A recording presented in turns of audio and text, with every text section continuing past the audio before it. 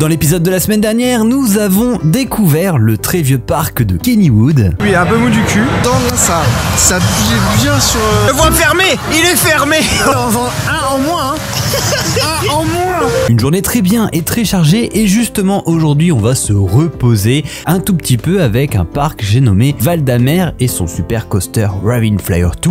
Un peu de pause dans ce trip incroyable, ça va nous faire du bien et justement Bon, bah, on est en pleine évacuation, puisqu'en fait, on est, il est 11h et le check-in était. Enfin, non, il est 11h13 et le check-in était à 11h. On se fait évacuer de la chambre par un, un gérant de motel pas très commode. Ça dégage. C'est incroyable. Du coup, elle est partie se doucher en vitesse. Euh, on a eu le temps de, de faire ce qu'il faut aux toilettes, comme qui dirait. Et puis, bah, c'est parti euh, pour Val d'Amerde. Val d'Amer, c'est ça Val d'Amer. Allez, c'est go, c'est go, c'est parti.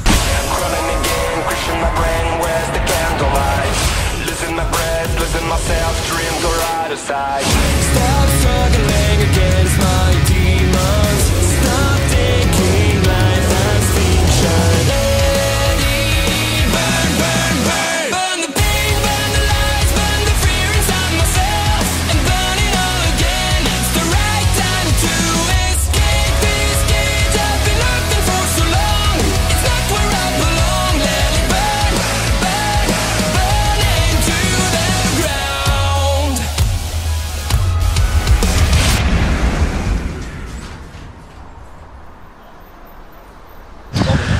Il fait beau, il fait chaud. On s'est fait euh, sortir euh, du motel, mais euh, on est bien arrivé à Val d'Amer. Val d'Amer, tout petit parc, regardez, il est là. Au bord euh, du lac, Euh, c'est le lac de. Le, je sais même plus de quel lac il s'agit, incroyable. Euh, petite journée vraiment très tranquille avant le- les mastodontes là qui s'annoncent.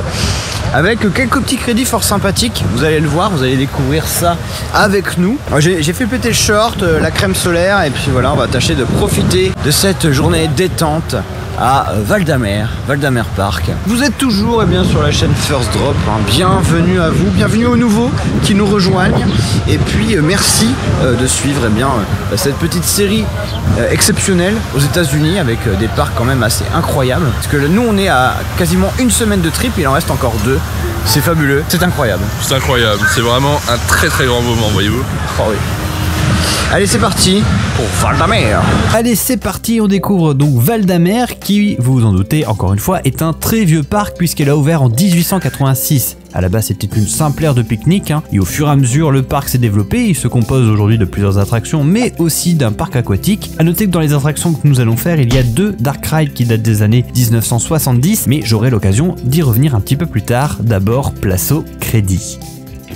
Et donc ça y est, on est rentré. petit parc, euh, ma foi, fort sympathique. Il y a déjà un truc que je kiffe, c'est les petits télésièges qu'on a au-dessus, très à l'américaine. Euh, Là-bas, on a un petit tapis volant, il y a une petite tour de chute, il y a un petit carrousel, les autotamponneuses, un petit musique express qu'on voit au loin. Enfin voilà, l'air tout sympa, tout mignonné. Alors, je pense qu'on peut payer à l'attraction. Euh, nous, on a pris un pass illimité pour la journée, juste pour les attractions terrestres, parce qu'il y a aussi un parc aquatique que l'on voit au loin là-bas. Mais on ne le prend pas parce que vous verrez, on a un hôtel spécial ce soir pour Cedar Point où on a carrément un parc aquatique dans l'hôtel. Donc on s'est dit, je pense que ça devrait faire l'affaire. Petite information au passage, vous allez avoir la visite de l'hôtel et du waterpark la semaine prochaine. Enfin, j'en reparle en fin de vidéo. Alors aujourd'hui il y a du crédit. Il y a un vieux wooden, euh, un vieux wooden qui s'appelle, qui s'appelle, je cherche le nom.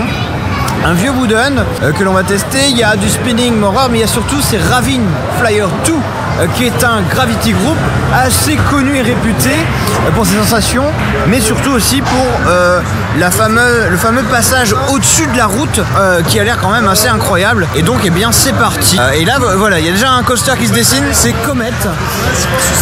Et donc, ça a l'air très sympa. Il y a Comet qui est là, petit wooden. Autour de l'arbre là bah oui.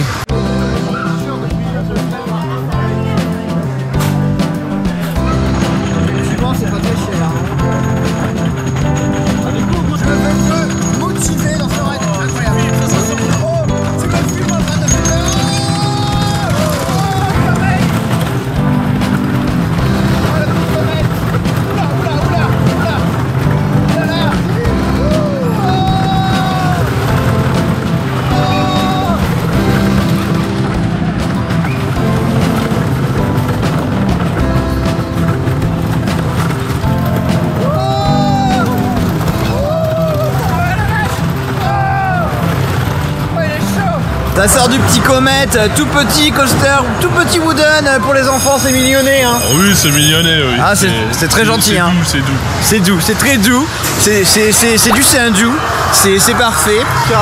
Voilà, c'est une caresse comme il dit euh, Emmerich. Euh, le petit Comet, c'est mignonné, c'est sympathique. C'est certes pas euh, le coaster le plus emblématique du trip, attention, mais euh, pour les enfants, les familles, c'est vraiment cool. Le parc est très agréable. Euh, Il y a un petit côté euh, euh, mais très beaucoup plus condensé.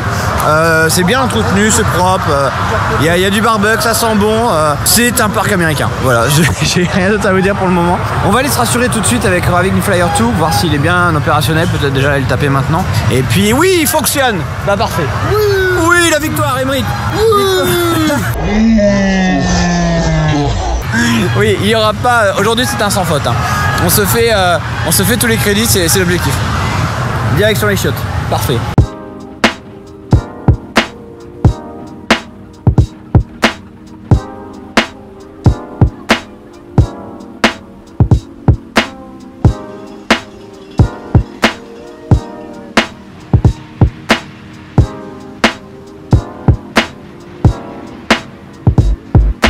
Ça sort d'un. Ça, d'un- on peut pas le faire, ça. Non, ça, t'as pas le droit, ça. Non. On sort d'un coaster d'anthologie, là. Raving Flyer 3, incroyable. On a failli faire un rollback au-dessus de l'eau quand même. hein.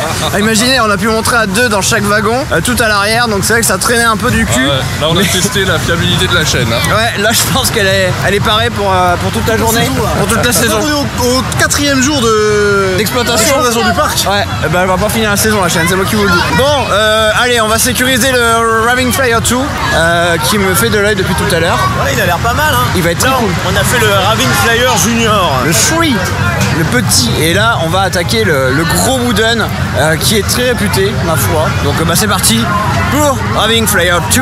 Bon, avant de rider le ce pourquoi nous sommes dans le parc, voici une petite présentation de Ravine Flyer 2 qui littéralement veut dire tomber dans le ravin. Le nom réside principalement de la première descente inclinée de côté qui passe sur un pont au-dessus de la route. Vous allez voir, c'est d'ailleurs très impressionnant. Ouvert en 2008 par le constructeur Gravity Group, les mêmes qui ont construit et rétraqué Tonnerre 2 Zeus. Comme je sais que vous allez me poser la question de savoir où est Ravine Flyer 1, eh bien c'est simple, il a été détruit depuis les années 1938. J'ai galéré à vous trouver des photos, mais j'ai une petite anecdote sur son sujet, puisqu'apparemment il y a une sombre histoire qui persiste. C'est qu'un accident grave serait survenu dans les années 1930, où un passager aurait été éjecté sur la route, ou passé le coaster. Bref, c'est une information quand même à prendre avec des pincettes, mais une chose est sûre, c'est que nous allons tester le deuxième du nom, et vous allez le voir que celui-ci ne va pas nous laisser indifférents.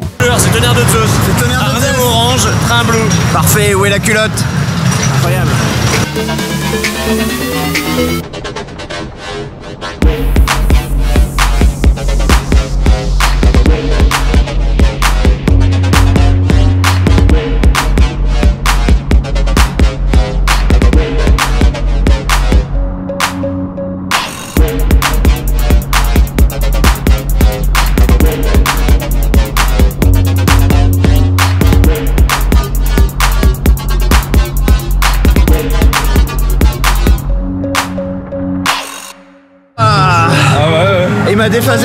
un mal de crâne.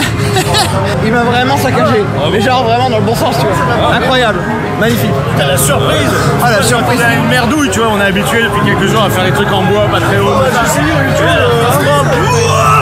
Bah, c'est le Ravine Flyer. Tu tombes dans le ravin, quoi. Exactement. Et la vue sur le lac derrière, c'est incroyable. Magnifique coaster, magnifique plus un de Gravity Group, une petite pépite euh, avec euh, des sensations d'airtime, une vitesse sur la première partie euh, du tracé qui est juste incroyable, tellement fabuleux qu'on le refait tout de suite. Hein. Ah bah oui, allez c'est reparti. Ah, ça sert d'un deuxième tour de Raving Flyer 2 là, tout derrière. Un très bon wooden les gars. Oh là incroyable, ça punch. La première descente on flotte dans le siège. Tout derrière on flotte. Je ne touche pas le siège pendant toute la descente. Vous passez au-dessus de l'autoroute, une vitesse dantesque, il ne s'arrête pas. Vous avez deux airtime à faire un moment, un dans le noir qu'on ne voit pas venir du tout. Décolle littéralement du siège. Des virages très inclinés, il y a un moment on est quasiment du 90 degrés. hein. La marque un petit peu de Gravity Group, fabuleux. Vraiment euh, très très bon wooden ici à Val d'Amer, rien que pour ça ça vaut le détour. Franchement, survalidé, survalidé. Ah, it was very amazing. We took expensive. Bon, c'est l'heure du crédit pourri. Ah, Ah, alors là, même moi je pense que je vais vous laisser euh, sur, sur le- sur le carreau. On paie Bon. tout, on rien. Eh ben je, bon bah je fais alors, je fais pour la pour la communauté. Dégueulasse. C'est leur tapis là-bas là. Oh là là. Crédit pourri, un émeric content. J'ai pas vu SBF vraiment en fait. Je, je, je vérifie.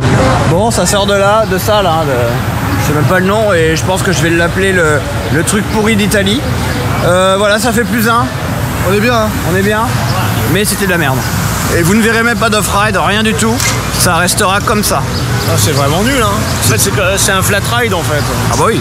Bon, dernier crédit à aller sécuriser. Et là, c'est un spinning morer, donc ça, c'est pas mal. Ça, c'est bien. Et euh, c'est c'est tout de suite, c'est maintenant. hein. Steel Dragon, là-bas, regardez-moi ça. C'est exactement le même modèle que Crush. C'est le même modèle qu'on a fait aussi à Hershey Park, à savoir Last Track.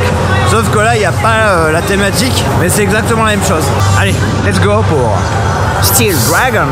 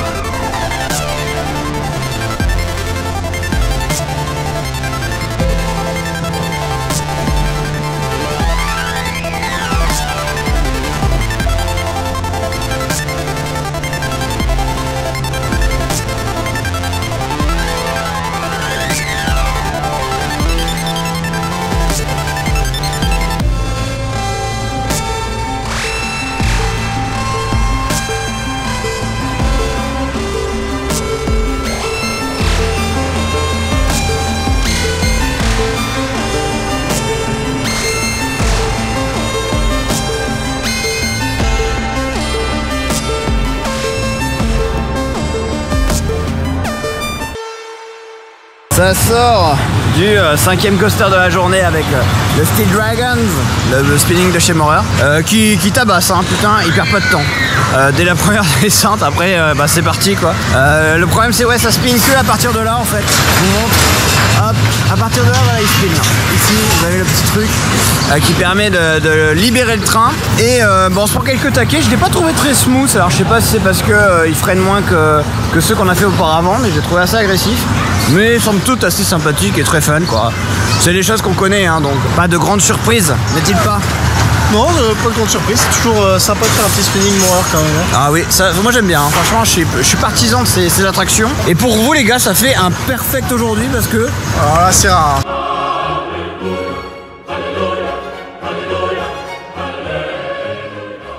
C'est le deuxième de trip, ouais. trip pour le moment pour moi. Mais en tout cas, pour ces messieurs, c'est un 5 sur 5 aujourd'hui, ça c'est beau. Voilà. Ah oui, même pour moi, oui, forcément. Mais voilà, les crédits sont sécurisés, donc on va pouvoir passer à la suite. Nana. Nana.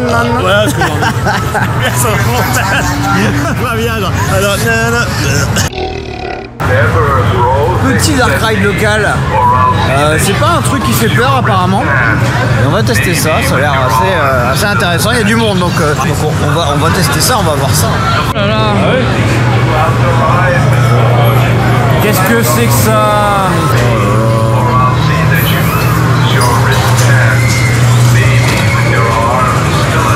Que va-t-il se passer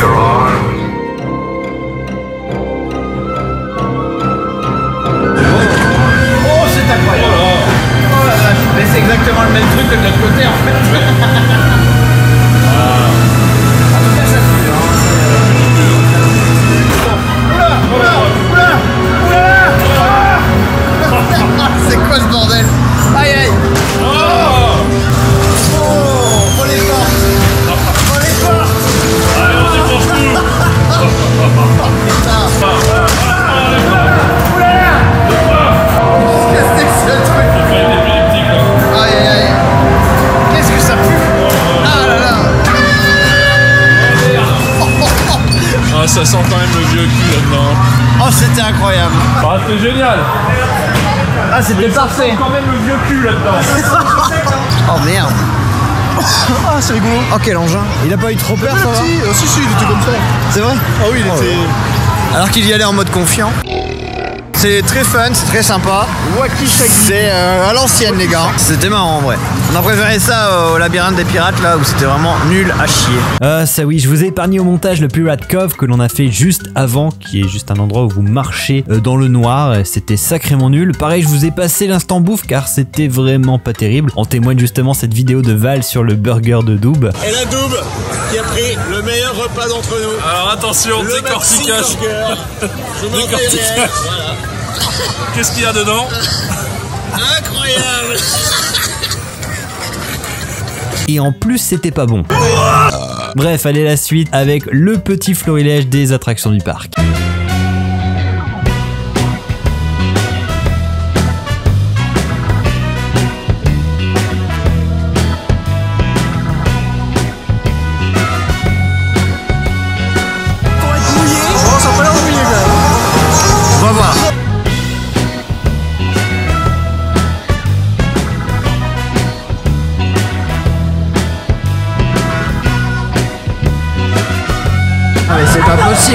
Même dans un petit parc comme ça les floues ils rincent quoi. J'étais tout devant mais regardez-moi ce bazar.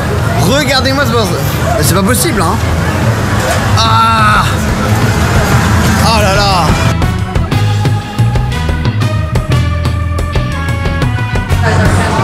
Oh, allez, super t-shirt, regardez-moi ça, la mer là, magnifique. Donc euh, il y a un petit merch euh, plutôt sympa, mais après il y a ça. Euh, voilà, il y a un petit peu, il y en a pour tous les goûts quoi. Qu'est-ce qu'on va faire avec ça Déjà, on va pas prendre le soleil. Déjà, non mais déjà tu peux pas le prendre dans l'avion. Enfin, tu- comment tu rentres Le avec prendre ça dans l'avion Ouais. Ouais. Faut pas que j'ai un voisin à côté parce que le pauvre il va être Il dort, il dort mal. Hein. Ah, il va être emmerdé. Incroyable. C'est le. Oh, Putain, tu fais très peur. Tu fais très. Non, tu fais peur. Bref, après ces conneries, on a enchaîné les tours de Ravine Flyer 2 et c'était vraiment bien. Mais avant de terminer la vidéo, je devais quand même vous montrer les auto-tamponneuses de Val d'Amer qui sont les plus violentes qui m'aient jamais été donné de voir. Une intensité comme jamais, un délire complet. Bref, les images parlent d'elles-mêmes. Parti là.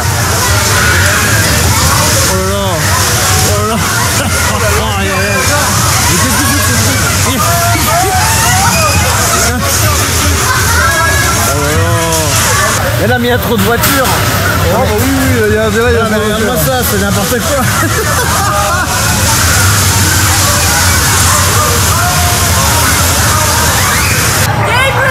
Bon, je m'écarte un petit peu du parc, c'est vrai que alors, les parcs sont toujours tout, tout aussi euh, vivants et bruyants. J'espère que vous m'entendez bien. J'ai un peu moins crié. Euh, une vidéo un peu plus calme euh, que les précédentes forcément. Il y a un peu de fatigue qui s'est accumulée les gars, même si euh, voilà on se repose bien, vous l'avez vu, on s'est fait même éjecter de l'hôtel puisqu'on dort un peu trop bien. Mais voilà, donc Val d'Amer, ben, c'est recommandé puisqu'il y a vraiment des trucs très très cool à aller tester, à faire. Le petit comète, un tout petit wooden sympa pour les enfants. Le Steel Dragon là, le petit Moreur, ça vous fait un plus un. Le flume est très cool. Le Dark Ride est assez inattendu, je dois dire. Et puis, rien que pour Ravine Flyer 2, je leur dis une dernière fois, euh, à faire. Clairement, à faire obligatoirement si vous n'êtes pas très loin de Cedar Point. Alors, pour Val d'Amir, Eh ben, Vlad la merde, c'est vraiment euh, génial contrairement à son nom. Et euh, franchement, je suis tombé amoureux de ce petit parc juste à côté du lac Terrier. C'est très boisé. Et puis le, le, le Raven Flyer 2, c'est vraiment une tuerie. Ça botte des culs à tous les tonnerres de Zeus, les loups-garous. Ils sont vraiment nuls à côté. ah bah clairement Avec oui. une, euh, une first drop, euh, n'est-ce pas monsieur? Tellement surprenante. Et le reste du parcours, il te fout des claques, mais euh, voilà, l'ingénieur qui a travaillé là-dessus, c'est un PGM, tu vois, c'est vraiment un beau gosse. Ah ouais, un putain de beau gosse. Et euh, ouais, tu résumes parfaitement la bonne surprise de, de Val d'Amer. Le plus 5. Ah bah, le plus ça qui était, était génial, d'autant plus que le Ravine Flyer 2, euh, il est vraiment exceptionnel. hein. Ah oui. En Europe, euh, à part peut-être Balder, mais encore il est très, très doux sur les virages, malheureusement. Euh, sinon, on n'a rien de comparable. On n'a rien de comparable. Ouais. J'ai jamais fait, les gars, un coaster aussi euh, puissant en wooden. Euh, il nous a botté les fesses clairement du début à la fin. Il nous a surpris. Il nous a conquis surtout. Le double. Oui. Val d'Amer. Oui C'était bien. Ah bah c'était très sympathique, oui. On a passé une bonne journée. Oui, oui, on a passé une très bonne journée. C'est un parc qui paye pas de mine, mais qui a un argument de choix. En Ouais. l'occurrence, un Wooden Gravity Group. Euh, Pas piqué les hannetons, n'est-ce pas? Oh putain. C'était vraiment, un, comme tu dis, un putain de grand plaisir. Oh oui. On l'a fait au moins 10 fois. Au moins dix fois, ouais. Une bonne Ouais. dizaine. Ouais, ouais. Et on en a pas assez. On, on serait bien resté encore une heure pour le faire. C'est vrai qu'on serait bien resté encore une heure. Et ça nous rappelle encore une fois à quel point loup-garou c'est de la merde.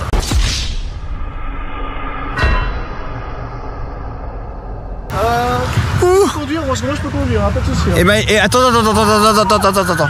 Il conduit. Hein Il conduit. Oui, pourquoi il conduit Ouais, mais il. Oui, mais on va où? Ah, on va ah. Ah, ah, ah c'est la ah, point. Et du coup, ah.